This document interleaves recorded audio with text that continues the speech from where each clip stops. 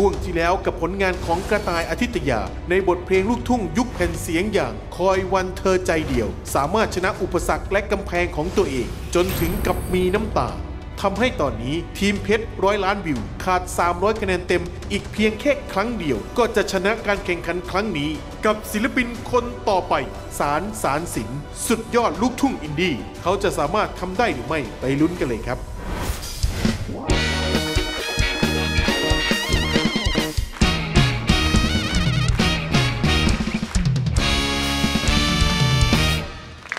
กลับมาสนุกกันต่อกับเพชร300นะฮะทีมเพชรร้อยล้านวิวตอนนี้ผ่านไปแล้วสองสาวของเรานะฮะในโจทย์เพลงย่ำกรุงนะฮะน้องกวาง 300 คะแนน โจทย์เพลงลูกทุ่งยุคแผ่นเสียงครับ น้องกระต่าย 300 คะแนน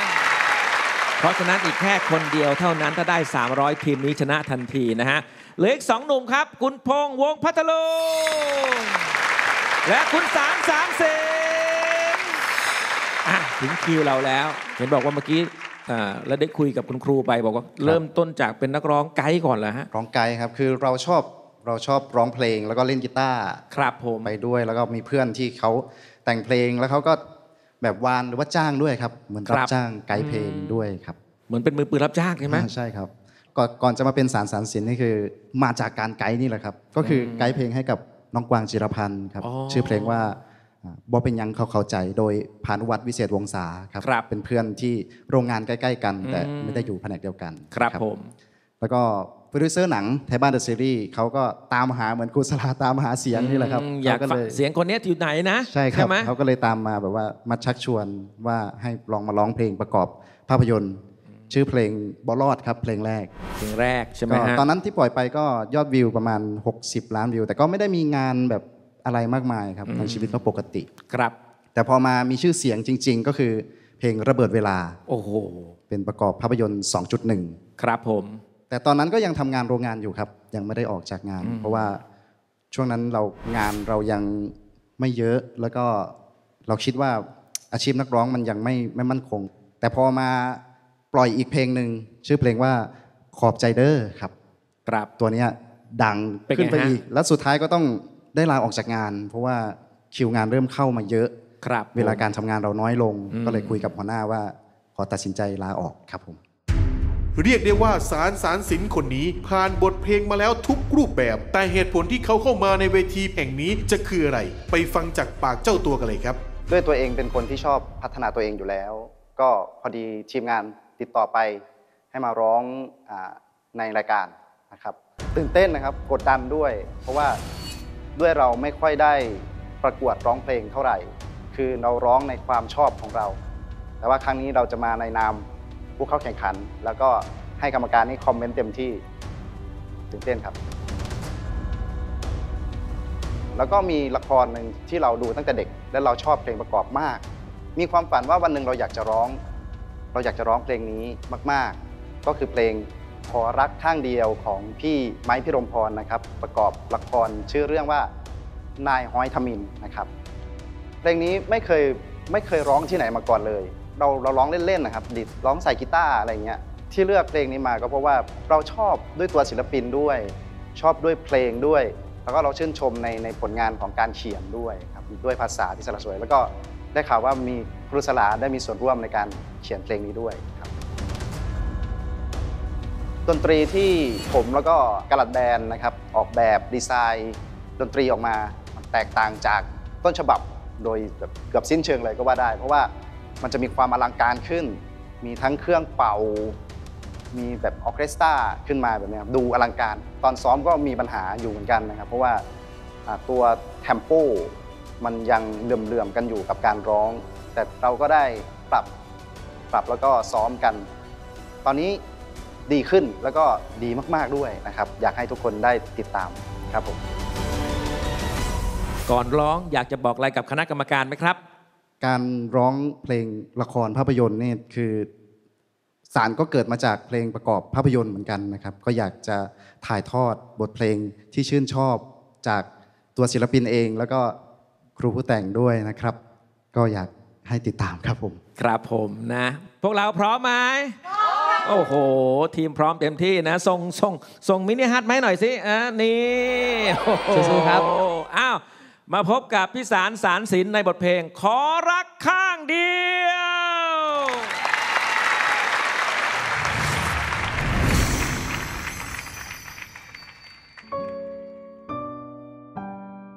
พี่สารขอบคุณมากนะพี่ที่ช่วยดูแลหนู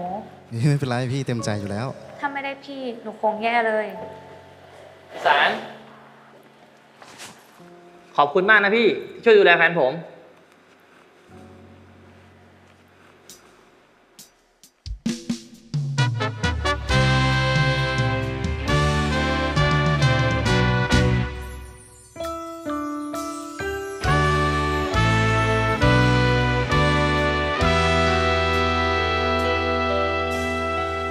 แนบคำว่ารักไว้ด้วยใช่ไหม สายตาที่เจ้าส่งไป ให้กับเขาคนนั้นอายยืนตรงหน้า มีค่าเหมือนคนไกลกัน เพราะใจเจ้านั้นบอกเคยรับอายร่ จึงสิ้นหวังนั่งเป็นเจ้าของ เมื่อใจเผลอไปไฟปอง ก็ต้องนอนฝันค้าง แค่คิดยังหาย แล้วใหญ่สิมีสิทธิ์หวัง ขอยืนข้างทางรักนางอย่างผู้เจียมใจ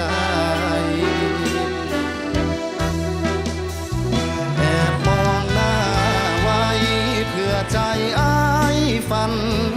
ถึงเจ้าพอให้คลายเงา เจ้าคงบ่ห้ามใช่ไหม อายกอดกระซิบ ว่าฮักฮักเจ้าในใจ ความจริงห่างไกล แต่ในฝันขอยืนใกล้เธอ หากเขาคนนั้น เธอเฝ้าหา มอบความรักแท้แก้วตา แล้วพาเจ้าไปเลิศเลออายเอาใจช่วยด้วยความห่วงใยเสมอบ่ได้ยืนข้างเธอขอยืนตรง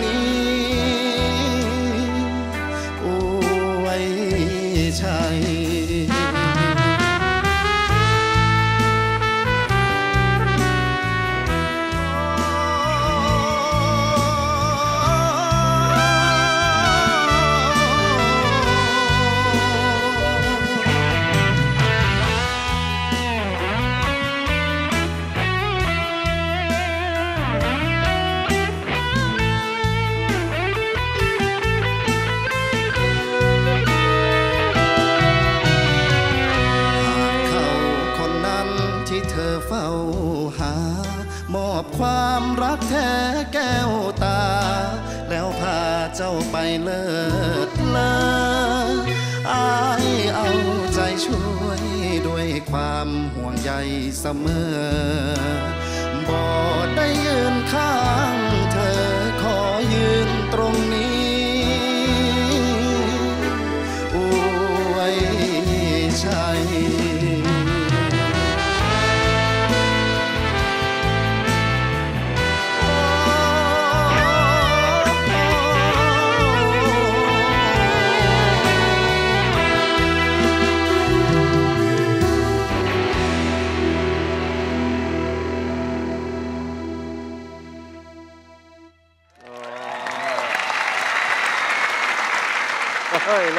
เลยจังโว้พี่สารสารสินครับขอบคุณครับโโหสวัสดีครับผมอะปรบมือกับนักแสดงด้วยนะครับโอ้โหเป็นไงได้แสดงด้วยนะโอ้โห inner มาเต็ม inner มาเต็มมาก เคยมีประสบการณ์รักเขาข้างเดียวไหมครับ ก็มีบ้างครับในเวลาเรียนอืมอะไรแบบนี้แบบครับผมเราก็ไม่ใช่คนหล่ออะไรนะครับแอบครับผมแอบชอบคนสวยด้วยอิอิอินิสัยเสียแบบนี้นะครับเออชอบคนสวยโอ้เมื่อกี้นะแอบมองเขาเนาะสุดท้ายเขาไปกับน้องเรา ใช่ครับโอ้โหเศร้าอีกแล้ว ผู้ชายคนนี้เศร้าอย่างเดียวเนาะโอ้โหถ่ายทอดอารมณ์ได้ดีจริง ๆ เลยนะครับ ก่อนร้องจบครับอยู่ที่ 300 คะแนนครับผม เป็นไงน้องกระต่าย ผลงานของพี่ชายเรา ไม่น่าเชื่อค่ะเอ้าทำไมไม่น่าเชื่อ ก็ปกติก็จะเคยเคยเห็นเขาแบบร้องแบบเป็นอ่าแนวเขาอะนะคะอ่ามัมัน อะไรอย่างเงี้ยระเบิดเวลาใช่ไหมคะแต่นี่คือครับแบบมา improvise ในแบบลูกคอลูกทุ่งอะไรอย่างเงี้ยนะคะ แล้วก็หนูว่าเสียงเขาเป็นความมีความเป็นตัวเขาแล้วก็มีการเอื้อนแบบเป็นเอกลักษณ์ของอีสานนะคะหนูหนูรู้สึกว่าเซอร์ไพรส์ค่ะนี่เซอร์ไพรส์เลยนะครับค่ะผมอ้าวมาฟังเสียงจากคณะกรรมการของเราดีกว่านะครับอันโนตครับ ผลงานผู้ชายคนนี้เป็นไงประทับใจไหมฮะ ผมไม่เคยเห็นคุณสารร้องเพลงแบบนี้จริงๆคุณเท่อะไม่รู้นะ อารมณ์มันประทับใจโอ้โห ผู้หญิงเดินเข้ามา โอ้โห ขอบคุณนะพี่สารที่ดูแล ไอ้ไอ้จิกโกไอ้จ๊อกกะหล่องนั้นมาอีก เออมามาโน้มคอเลย โอบไหลต่อหน้าเรา เออโอบไหลต่อหน้าเราบอกขอบคุณนะที่ดูแลเด็กเขาอะถ้าเป็นอโนตโอ้ทิมไงายท้อง ทีมผู้หญิงกับทีมผู้ชาย ทีมผู้หญิงเนี่ยจะอีบ้าอะไรของมึงเนี่ย อ้าวที่ผมพูดไปยังไม่เข้าใจเหรอนึกว่าทีมผู้ชาย ชีวิตผมไม่เคยต่อยผู้ชาย ผมอ๋อต่อยแต่ผู้หญิงตลอด คุณสาร คุณเจ๋ง ขอบคุณแค่นี้เองครับครับตกลงคุณสาและคุณเจ๋งนะยังไม่จบเขางงต้องการอย่างนี้ใช่ไหมไม่เขาเขางงอะพี่สารงงเอ๊ะผมชื่อคุณสาหรือคุณเจ๋งดพานครับผม ผมมาเจ็ดต่อหนึ่งผมเคยเจอมาแล้ว อยู่ฝั่งเจ็ดครับ ไม่ต้องดังกันกูเอาเอาเชิญคุณสุนเลยครับ สมกับเป็นมือปืนรับจ้างจริงๆนะฮะจะอาวุธแบบไหนรุ่นไหนเหมือนกับผ่านมือมาหมดแล้ว เชื่อมือได้วันนี้ก็เอาอาวุธของลูกทุ่งมาใช้ ซึ่งสารเก่งมากนะฮะลูกเอื้อนลูกขยี้นี่ทำได้ดี แต่แค่รู้สึกว่าหนูยังยังเกรงอะ่ะ หนูตื่นเต้นนะนะพี่สุรู้คือเพดานเสียงของสารอะมันสามารถได้อีกนะ มันสูงได้อีก แล้วมันจะสุดมากเลย มันจะมีความรู้สึกอย่างนั้น แต่แต่วันนี้ร้องดีแล้วก็ร้องเก่งมากด้วย คือลูกละเอียดลูกขยี้ทุกอย่างคือทำได้ดีมาก เพียงแต่แค่มีอาการเกรงๆเล็กน้อยเท่านั้นเองนะคะโชคดีค่ะ ครับผมครูสลาครับในฐานะผู้แต่งถือว่าได้ดังใจไหมฮะ ได้ดังใจครับ ครับผม แล้วก็ดูเพลินแล้วก็น้ำเสียงของสาร ซึ่งเพราะมาก ไม่ว่าจะร้องแบบไหนก็ดูมีตัวตนเป็นเอกลักษณ์ของตัวเอง แต่เกรงไปหน่อย เกรงไปหน่อยทำให้การออกเสียงมันดูเหมือนเหมือนระมัดระวังมากนะฮะแต่ด้วยชั่วโมงบินด้วยการเป็นมือปืนรับจ้างอย่างที่พิสุว่าละก็เอาตัวรอดได้นะครับ ก็อยากให้สารได้หาประสบการณ์แบบนี้ เยอะๆนะครับ เพราะว่าจริงๆแล้วเป็นคนเบื้องหลังก็จริงแต่หลังจริง ๆ หลังจนไม่ค่อยได้มายืนข้างหน้า วันนี้ก็เริ่มมาอยู่ข้างหน้าแล้วก็หวังว่าสารจะได้ใช้เวลาตรงนี้ในการแสวงหาพื้นที่แสดงออก อย่างเช่นที่มาวันนี้ก็ถือว่าเป็นเรื่องที่ดีกับสารแล้วก็คิดว่าเป็นเรื่องที่ดีสำหรับแฟนเพลงของสารด้วย จะได้เห็นและชื่นชมในอีกมิติหนึ่งขอรักข้างเดียวในเวอร์ชันของสารครูมอง จุดเด่นอยู่ที่การแบ่งส่วนการร้องที่แตกต่างจากพี่ไม้พี่รมพรร้องเอาไว้ มันก็ได้อัธรสอีกแบบหนึ่งแล้วก็นอกจากร้องได้ดีแล้วเนี่ยดูเหมือนว่าเล่นไปเล่นมาเนี่ยหึงจริงด้วยนะ เอาเสนียนเลย เริ่มแสดงเก่งแสดงเก่งตอนท้ายๆอะตอนท้ายๆนี่ถือว่าเล่นได้ดีเลยทั้งภาพทั้งเสียงมาครบครับเก่งครับขอบคุณครับ จริงๆแล้วตื่นเต้นกับครูมากกว่าครับโอ้ตื่นเต้นใช่ไหม เพลงนี้ผมฝึกร้องตั้งแต่เด็กแล้วครับ ครับผมก็มีคนเฒ่าคนแก่ที่บ้าน เขาก็จะแบบว่า คือบ่ไปร้องให้ครูสลาฟังแน่อ๋อแบบเนี้ยครับ มันเป็นความฝันของเราตั้งแต่เด็ก ครับผม แต่พอมาวันนี้มาร้องจริง ตื่นเต้นมาก ๆ มันอดไม่ได้เนาะครับ เอออะลุ้นกันครับ คนนี้นะของทีมนี้จะคว้า 300 ได้หรือไม่ ถ้าได้ 300 ทีมชนะทันทีนะครับผมเอาละครับ ก่อนร้องจบอยู่ที่ 300 คะแนนหลังจากนั้นจะได้กี่คะแนนเท่าไรดีเขาจะคว้าชัยชนะให้กับทีมได้หรือไม่ครับอ่า300 ชนะทันทีครับผม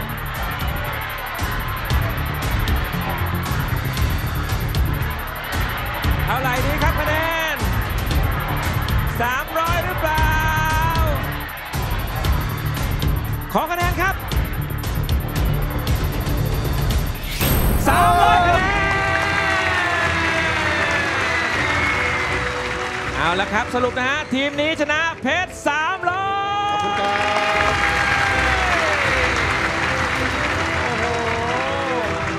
แต่ยังไงก็ต้องร้องให้ครบทุกคนนะฮะ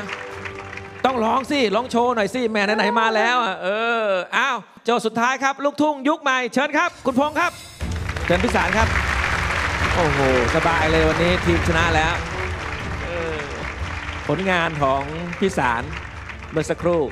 โอ้ดีมาก สบายตัวแล้วใช่ไหมคะสบายตัวณพงษ์แล้วครับผมไม่ไม่เครียดเลย ตอนนี้เรา 300 ก็ได้ ครับ ถ้าได้ 300 นี่ดีเลย ถือว่าครบทุกคนเลย ใช่ครับ เอาให้ได้จะทำให้ดีที่สุดครับ นะ วันนี้โจทย์เพลงลูกทุ่ง ยุคใหม่ของเรา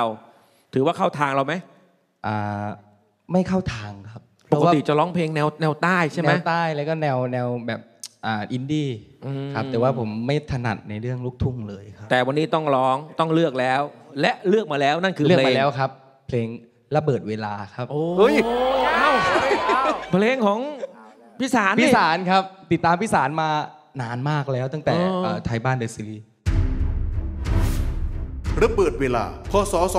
2561 ผลงานจากปลายปากกาของสุดยอดนักแต่งผู้มากความสามารถ ปรีชาปัดภัย กับแรงบันดาลใจที่มาจากเรื่องราวความรักของตน ผ่านการถ่ายทอดอารมณ์ของศิลปินอินดี้อีสาน ที่โด่งดังที่สุดในเวลานี้อย่างสารสารสิน จนทำให้บทเพลงนี้มียอดวิวสูงถึง 300 ล้านวิว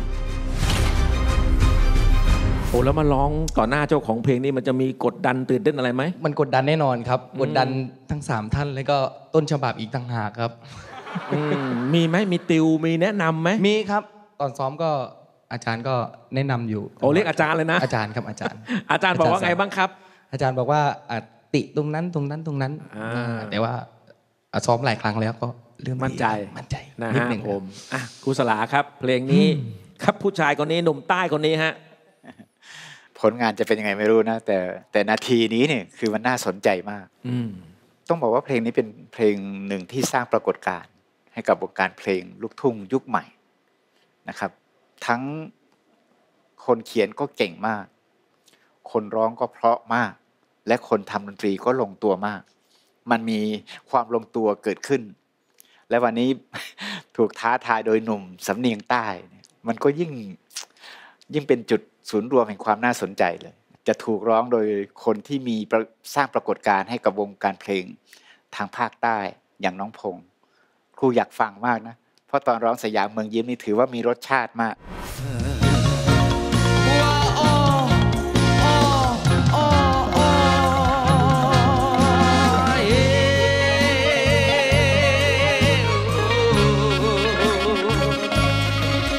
อยากรู้เหมือนกันว่าระเบิดเวลาในเวอร์ชั่นของน้องพงษ์จะเป็นอย่างไร เต็มที่ครับรอฟังครับ โอ้โหในฟังครูเล่าแล้วรู้สึกว่ามัน